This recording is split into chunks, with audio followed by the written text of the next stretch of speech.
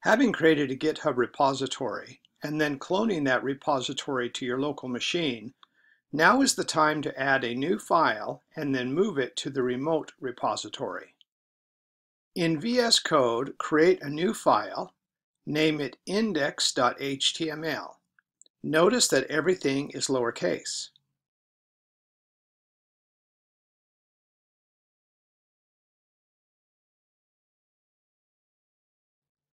Index is a default name that we use when creating a file that we want the server to deliver automatically if the actual name of the page is not specified in the URL.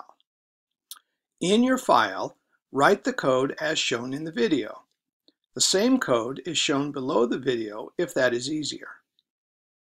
Once the page is done, save the file. In VS Code, you'll notice that the third icon on the left, a stylized Y, should have a 1 shown on it. Click the icon. This is the GitHub icon. It shows the number of files that have changed since the last GitHub update. Having clicked the icon, you should see the index.html file. If you hover over it, a few icons should appear on the right. Click the plus sign. If you hover over it, you'll see a tooltip that says Stage Changes.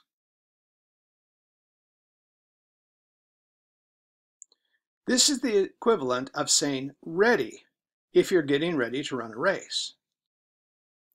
A new Stage Changes heading appears and the index.html page is shown below it.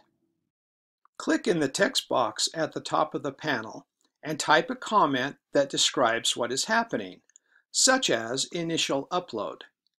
Later on, if you edit something, you will describe the change. Adding a comment is required for each upload.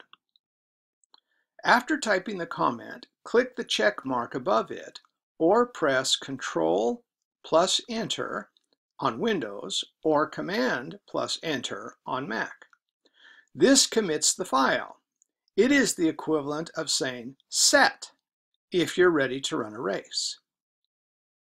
Finally, at the bottom of the window, click the button with a 1 and an up arrow on it, or click the ellipse to the right of the check mark and select Push.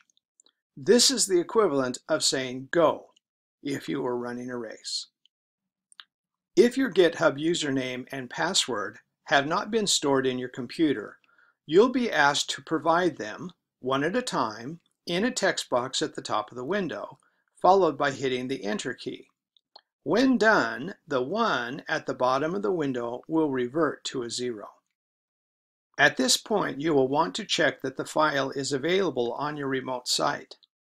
By the way, get in the habit of testing that the upload worked every time you upload a file.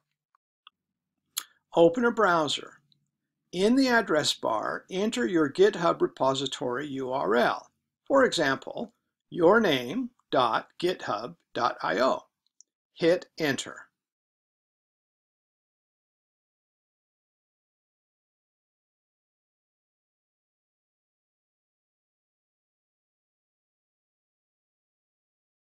Since your file was named index.html, the page should be delivered automatically.